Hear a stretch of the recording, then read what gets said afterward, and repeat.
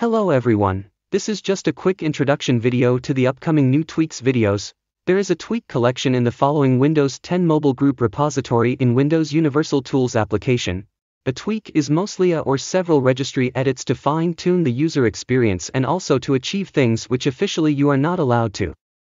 Messing with the registry is dangerous without a doubt but with the proper methods, it's not dangerous at all.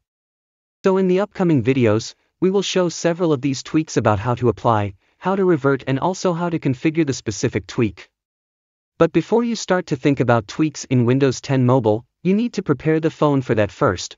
All you have to do is just simply interop unlock the phone. None of these tweaks will work without interop unlock so make sure you did that before following any video on tweaks.